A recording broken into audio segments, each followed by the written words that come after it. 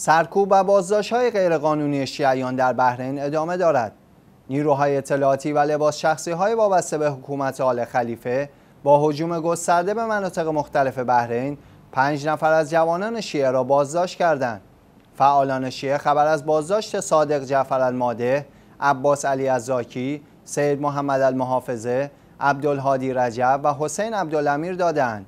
این حملات در مناطق عدیه، مقابه، اسکان، منامه و ابوقوه صورت گرفته است. هنوز علت این بازداشت ها و مکانی که این جوانان به آن منتقل شدهاند مشخص نیست. بحرین از سال 2011 میلادی صحنه سرکوب شدید شیعیان این کشور توسط حکومت آل خلیفه است. این سرکوب ها از آنجایی شروع شد که شیعیان این کشور خواستار برابری حقوق شهروندی تمام اخشار جامعه در این کشور شده و با استفاده از راهکارهای قانونی احزابی شیعی را در این کشور تشکیل دادند.